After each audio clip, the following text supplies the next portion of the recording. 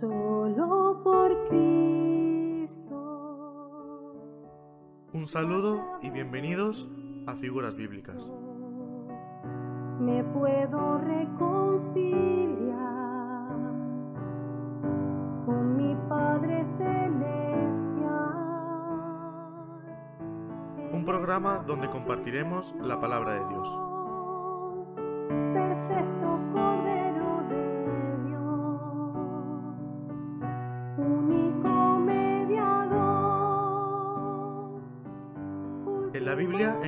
Cientos de comparaciones de la vida cotidiana que esconden tras de sí una enseñanza básica para cada cristiano.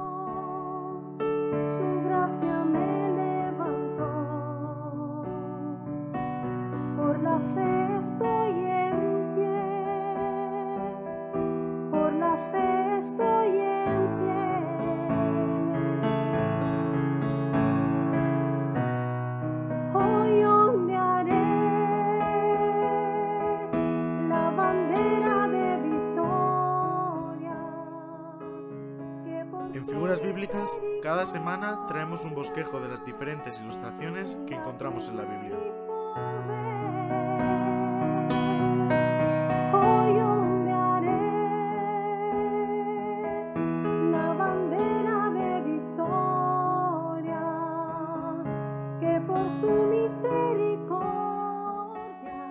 Te damos la bienvenida a Figuras Bíblicas. Que Dios nos bendiga a través de su palabra.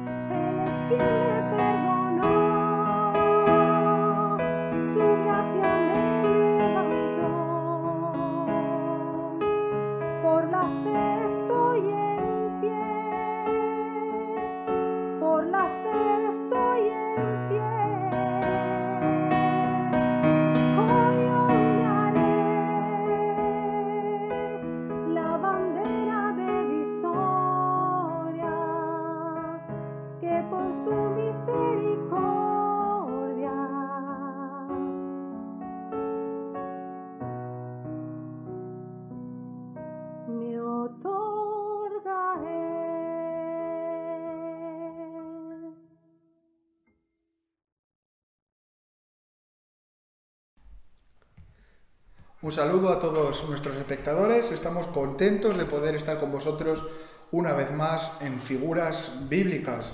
Continuamos con, con la última remesa ¿verdad? de programas que llevamos hablando de la armadura de Dios, o mejor dicho, de la armadura del cristiano. Cómo tenemos que estar vestidos de una forma correcta para alcanzar el propósito de Dios en nuestras vidas, estar firmes y, y seguir siendo útiles para Dios dentro del ministerio. Estamos en el contexto de Efesios capítulo 6, donde a partir del versículo 10 Pablo empieza a hablarnos de la armadura de Dios.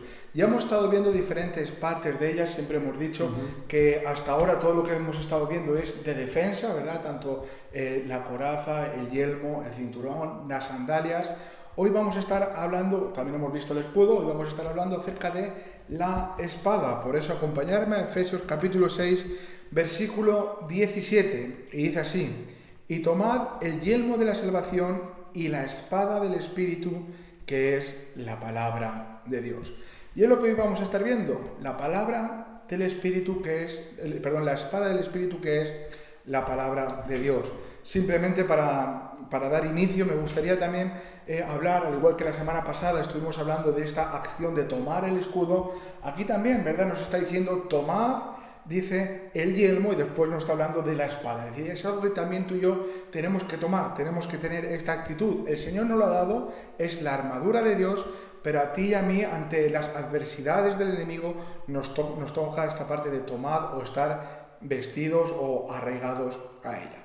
Entonces, eh, con respecto a la, espada a, la, a la espada y a la palabra, encontramos muchos contextos que vienen unidos, es decir, vemos la espada de doble filo y nos habla acerca de la palabra de Dios. Entonces, la interpretación aquí no la vamos a dar nosotros, es la palabra de Dios quien la da y nosotros simplemente hemos hecho un bosquejo a lo largo de ello y lo queremos compartir con todos vosotros para darle más peso y más fuerza a este pensamiento de la palabra de Dios con respecto a la espada del Espíritu. Pues sí, eh, está claro que, como decimos muchas veces, en estos 20-25 minutos no podemos hacer más que es. los que nos permite el tiempo. Entonces, intentaremos eh, poder eh, sembrar algo que, también se pueda recibir y que podamos aplicar ¿no? con respecto a la palabra de Dios. Eh, una de las cosas, y creemos que es importante, entre otras muchas, tiene que ver con que hace una función de separar. Creo que eh, en esto estamos todos de acuerdo y vamos a usar Hebreos capítulo 4 y versículo 12. Y aquí hablando acerca de la palabra de Dios, nos está diciendo este texto que es viva, eficaz, más cortante que toda espada de dos filos, penetra hasta partir el alma y el espíritu, las coyunturas y los tuétanos, y discierne los pensamientos y las intenciones del corazón.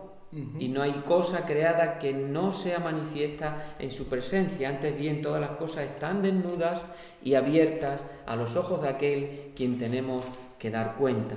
Bueno, habría también mucho que hablar en estos versículos, pero yo también para principiar me gustaría eh, hacer énfasis en este tipo de separación que hace la palabra de Dios. Lo voy a llevar un poco a esta separación en el sentido de, de poder indicar usando esta expresión de poder cortar, como dice la misma escritura, eh, de poder separar totalmente lo que está eh, enfermo y a la misma vez traer luz para poder em, edificar sobre aquello que sí sabemos que, tiene una base sólida y por supuesto hablamos de la palabra de Dios, hablamos del mismo Hijo de Dios. Entonces aquí en estos versículos que hemos visto, una de las cosas que hace muy claramente tiene que ver con separar, tiene que, también tiene que ver con discernir, casi estamos hablando de lo mismo, hace un tipo de separación.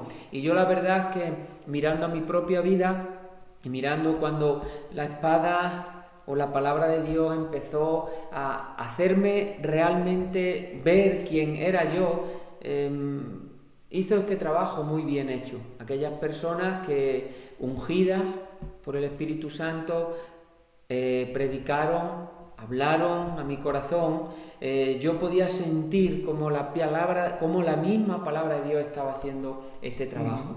y, y yo creo que en esa manera la palabra de Dios sigue haciendo este trabajo también hacia aquellos propósitos que Dios tiene y los propósitos un poco enfatizando en el corazón del hombre, en nuestro corazón, para que realmente pueda reconocer que es un corazón eh, en su propia naturaleza, donde hay enfermedad, esta enfermedad la Biblia la describe como pecado y donde trae esperanza, donde trae luz, donde nos permite ver que en la persona de Jesucristo podemos edificar, podemos nacer de nuevo y podemos principiar una vida cristiana basada en algo que tiene que ver con esta obra ¿no?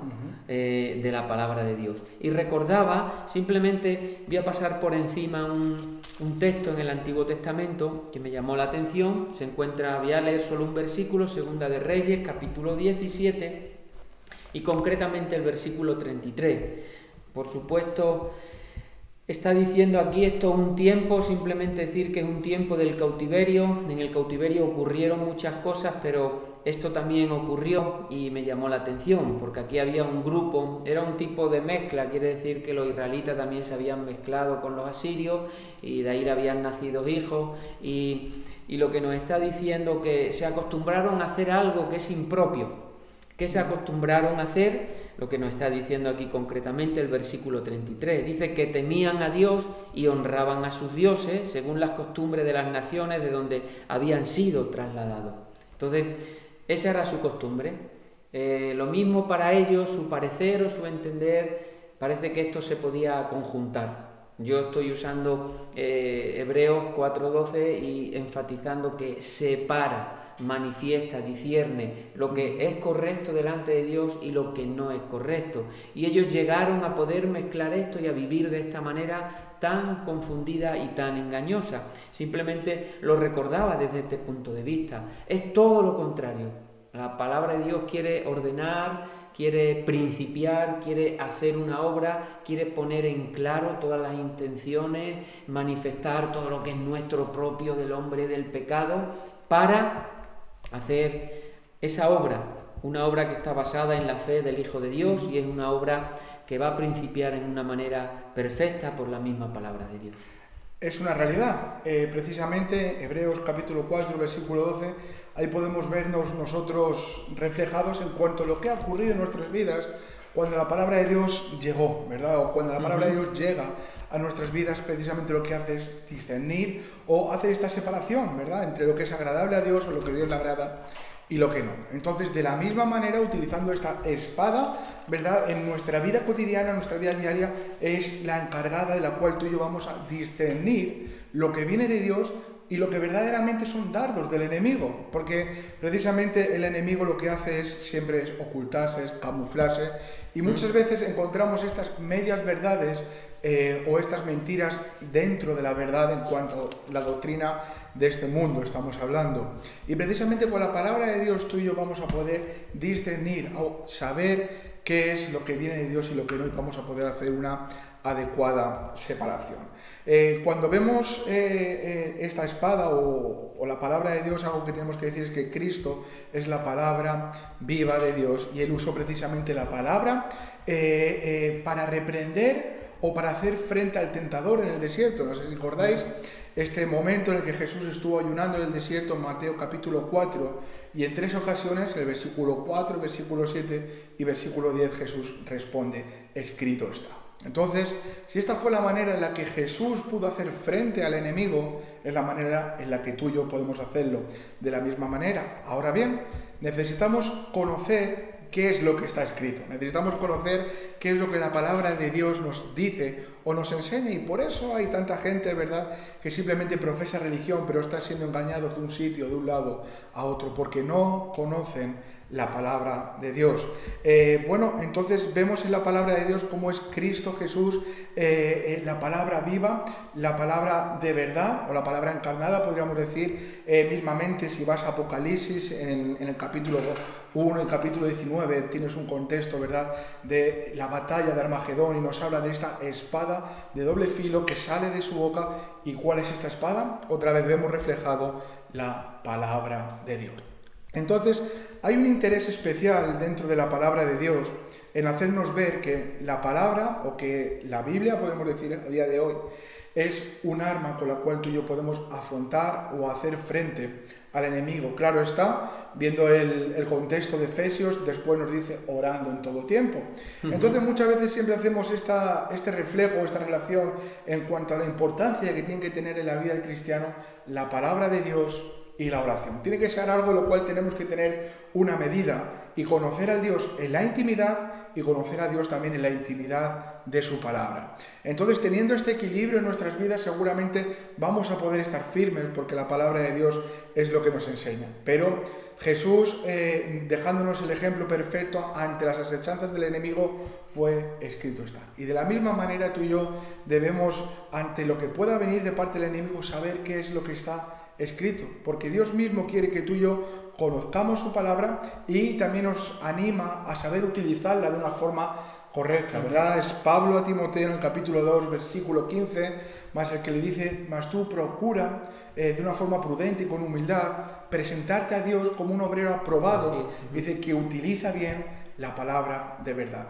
Y este es nuestro deseo. Si hoy estamos vestidos con armadura, eh, tenemos el escudo de la fe, tenemos la espada, bueno, pues si hoy se pasa revista, hablando de una forma figurada, que podamos estar aprobados delante de Dios, porque sabemos utilizar la espada que Dios nos ha dado y nos podemos desenvolver en una madurez espiritual ante lo que el enemigo pueda traer a nuestras vidas.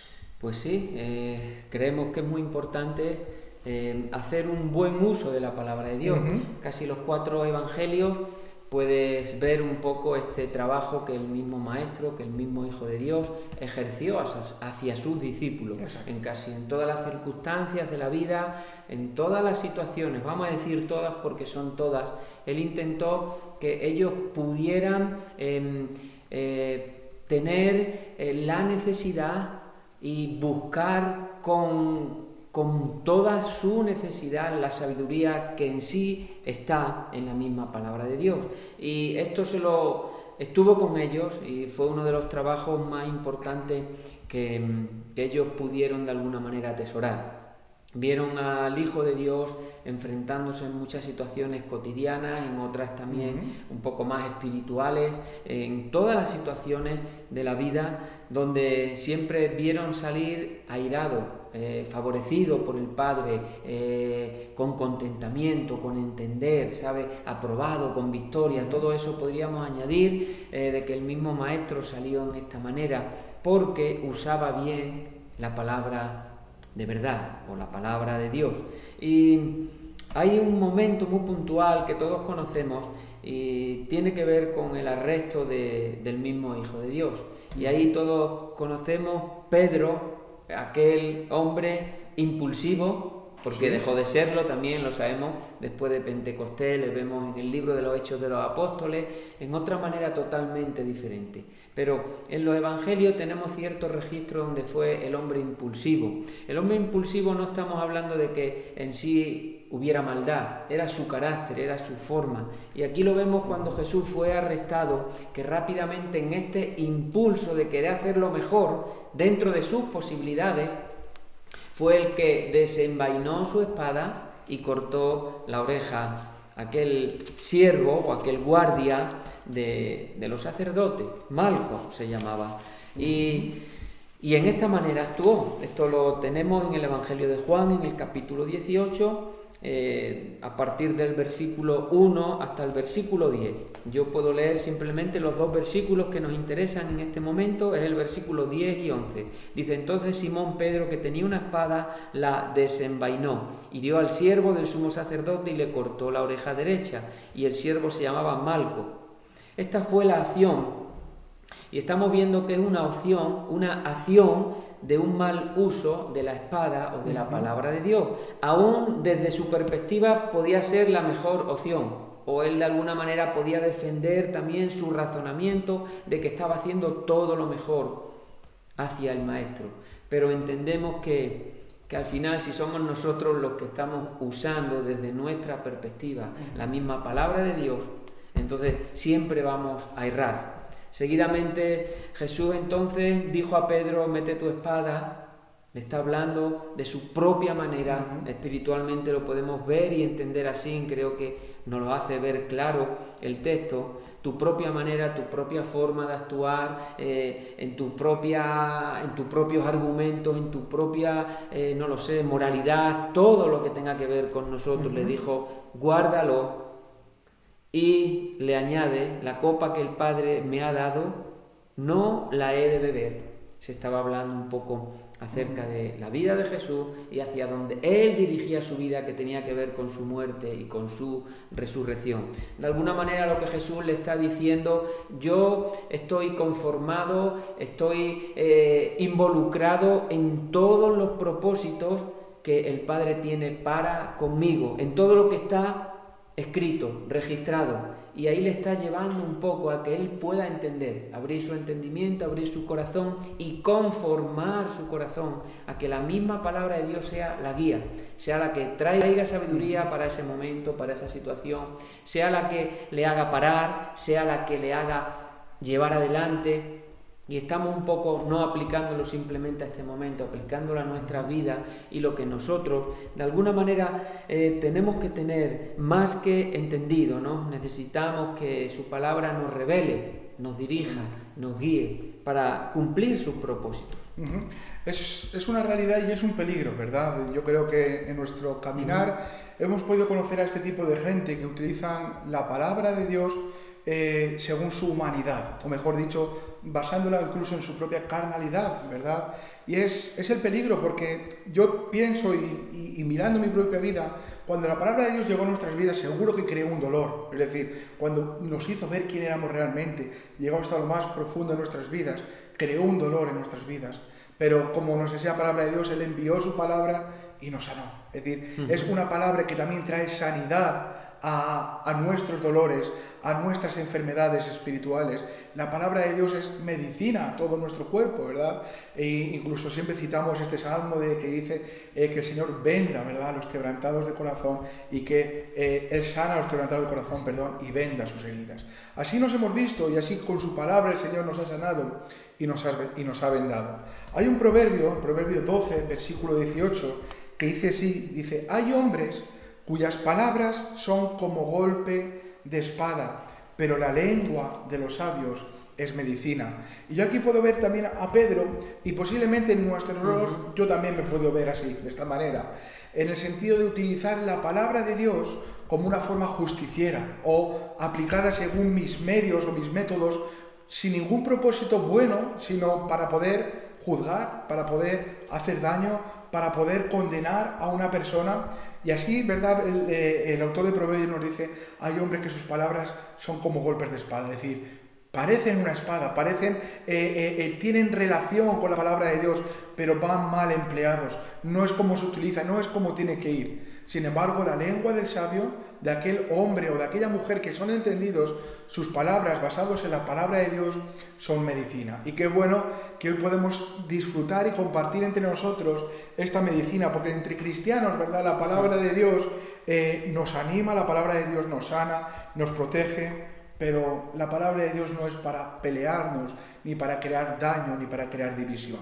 Sí que es cierto que la palabra de Dios nos enseña que cuando un hermano pueda cometer cualquier desorden bajo la palabra de Dios, nosotros tenemos que instruirle en el camino para que pueda ser reconvenido y volver a enderezar sus pasos.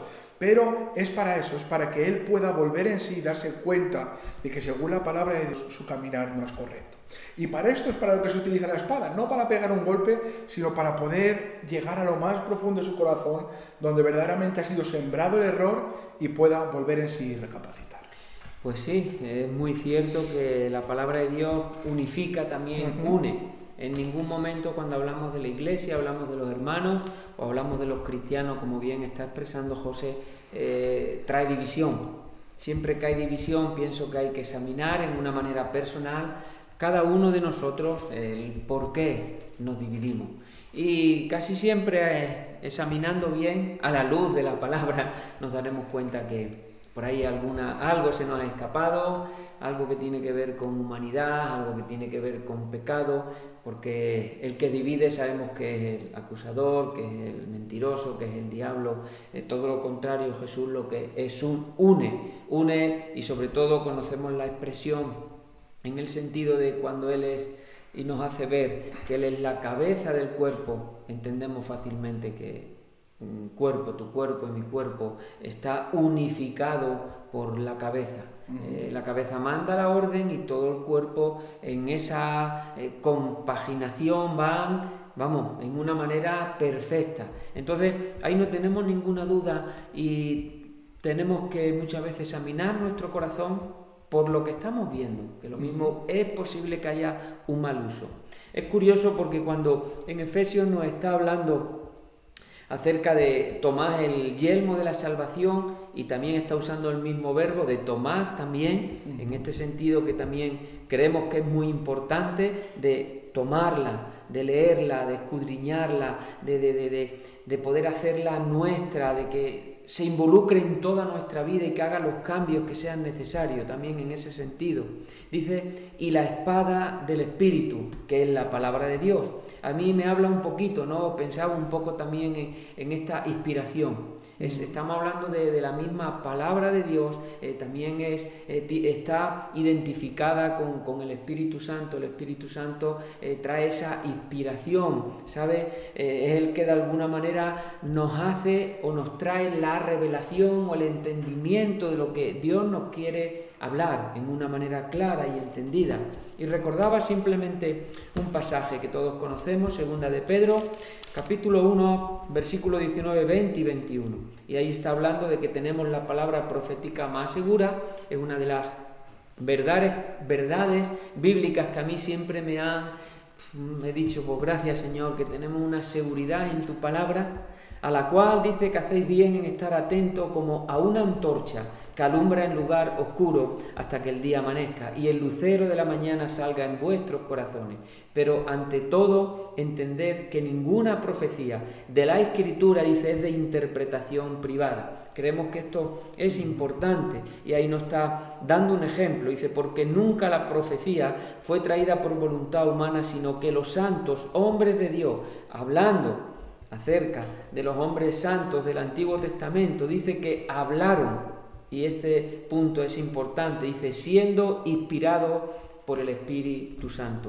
Y es, el Espíritu Santo tiene que traer la inspiración. Y nosotros, para hacer un buen uso, estar cumpliendo los objetivos, los propósitos, estar sembrando y entendiendo que, que, no sembramos en vano, necesitamos y sentimos que el Espíritu Santo nos inspire, nos mueva, nos guíe por la escritura, por su misma palabra, para poder sembrar en este caso y usar correctamente su palabra. Esta tiene que ser nuestro ánimo, ¿verdad? Cada vez que hablamos de la palabra de Dios y cada vez que intentamos edificarnos los unos a los otros. Y es que poder hablar inspirados por el Espíritu Santo basándonos siempre en la palabra del Señor.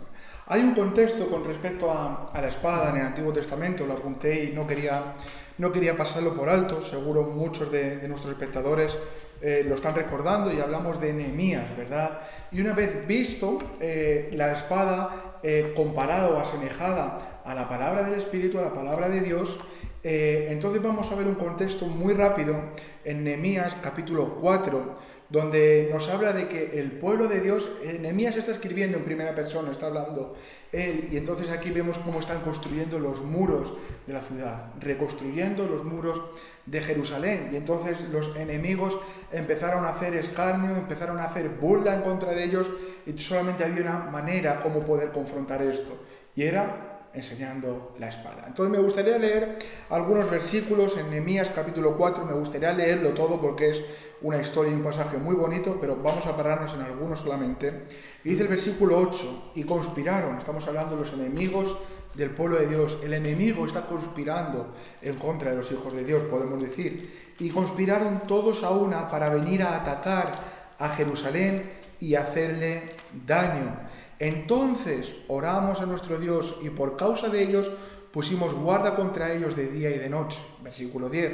Y dijo Judá, las fuerzas de los acarreadores se han debilitado y el escombro es mucho y no podemos edificar el muro. Tú fíjate, por causa de los, del enemigo, por causa de las acechanzas del enemigo, dice que estos hombres se debilitaron y empezaron a ver que había tanto trabajo que no podían llevarlo a cabo porque sus fuerzas, a causa del desánimo, se habían debilitado. Entonces, continúa diciendo en el versículo 13, entonces, por las partes bajas del lugar, detrás del muro y en los sitios abiertos, puse al pueblo por familias, con sus espadas, con sus lanzas, y con sus arcos, ¿verdad? Dice detrás del muro y en los sitios abiertos, que el enemigo pudiese ver que ahí había un pueblo armado con un arma poderosa. Que el enemigo cuando viniese de lejos se pudiese dar cuenta de que no estaban simplemente trabajando, sino que tenían algo con que poder defenderse. Versículo 14. Después miré y me levanté y dije a los nobles y a los oficiales y al resto del pueblo, no temáis delante de ellos, acordaos del Señor, grande y temible y pelead por vuestros hermanos, por vuestros hijos y por vuestras hijas y por vuestras mujeres y por vuestras casas. Y qué bueno, ¿verdad? Que en el momento de dificultad, ¿de que nos acordamos?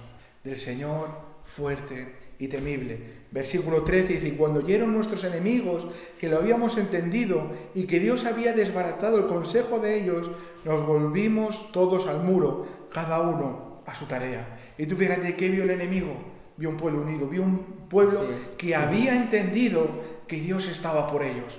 Y, me llama mucho la atención con respecto al reconstruir, con respecto al ministerio, ya no solamente el que nosotros estamos, sino en el que cualquier espectador en este momento puedas estar sirviendo al Señor. Vamos a, fijarnos cada uno en el lugar donde Dios nos ha puesto a construir el muro. Es decir, el enemigo va a estar a la espera de que tú y yo bajemos la guardia.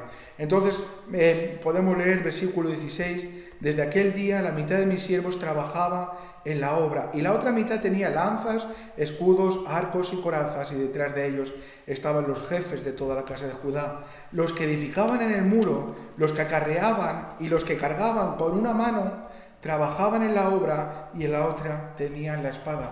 ¿Quiénes son estos? Los que en versículos atrás se habían desanimado por causa del enemigo. Ahora ya no estaban desanimados, habían entendido.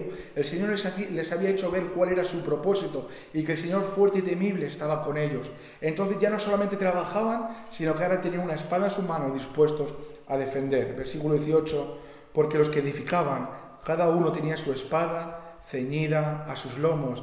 Y así edificaban, y el que tocaba la trompeta estaba junto a mí. Y, posiblemente, ¿verdad?, ceñida a sus lomos, ahora mismo estamos recordando este cinturón de la verdad, donde la palabra era, eh, donde la espada, la palabra de Dios era ceñida. Entonces todo tiene que ver, ¿verdad?, con respecto a la protección que Dios tiene para con sus hijos. Y simplemente por leer el, último, el, el último versículo, dice, y dije a los nobles y a los oficiales y al resto del pueblo, la obra es grande y extensa, y nosotros estamos apartados en el muro, lejos unos de otros. En el lugar donde oyeres el sonido de la trompeta, reunidos allí con nosotros, nuestro Dios peleará por nosotros. Entonces, cuando yo estoy en lo que tengo que hacer, es decir, Dios nos ha llamado a una obra, Dios nos ha llamado a un ministerio, llámalo X, en la iglesia, en la congregación donde tú puedes estar, Dios te ha llamado a estar ahí, Dios te ha llamado a trabajar ahí, pero déjame decirte una cosa, es muy importante el trabajo que tienes, pero no te afanes tanto en el trabajo y te olvides de coger la palabra. No, te, eh, eh, no quieras ser tan siervo, tan bueno, tan bueno, tantas horas, que te olvides de la palabra de Dios, que te olvides de que tú eres encargado de defender ese lugar. Y cuando hablamos de defender estamos hablando de la obra espiritual del enemigo, que muchos que entren por nuestra puerta, que los pensamientos de los débiles, que el corazón de aquellos que no tienen entendimiento sea torcido, y tú eres el encargado de estar con la espada, con la palabra de Dios entendida, revelada a tu corazón para poder refutar cualquier acechanza del enemigo. Pues sí, eh, el tiempo se nos va y simplemente voy a leer tres versículos del Salmo 119 y que está diciendo no quites de mi boca en ningún tiempo la palabra de verdad. Esto se puede hacer parte también de una oración, ¿no? En una manera personal, que esté siempre presente en nuestra boca, en nuestro corazón, eh, la palabra de verdad. Dice, porque en tus juicios espero. Versículo 44 dice, guardaré tu ley siempre, para siempre y eternamente, y andaré en libertad. Me llamaba mucho la atención, porque busqué tus mandamientos. Entonces, otra de las cosas que podemos ver entre muchas eh, que tiene que ver con, la obra de la palabra de Dios en nuestras vidas, que se está hablando un poco acerca de esta libertad. Una libertad también que nos hace eh, poder expresar realmente que, que hay contentamiento en nuestras vidas porque su palabra está dirigiendo nuestros pasos, nuestro caminar. Y ahí descansamos, ahí vemos que, esto tiene que formar parte de que el Señor no quite de nuestra boca la palabra de verdad. Simplemente para finalizar, recordaba ahora un pasaje que dice que el caballo se alista para la batalla, pero el Señor es el que da la victoria. Entonces, resumiendo toda esta armadura, a ti y a mí nos toca alistarnos para la batalla, estar vestidos con toda la armadura de Dios, con lo que el Señor nos ha dado y confiar, podemos confiar de todo corazón que el Señor nos va a dar la victoria. Hasta aquí el programa de hoy, agradecidos a Dios de poder compartir con vosotros una vez más su palabra y animaros al siguiente programa que sigáis con nosotros. Pues sí, igualmente eh, nos vemos en el siguiente programa y un saludo.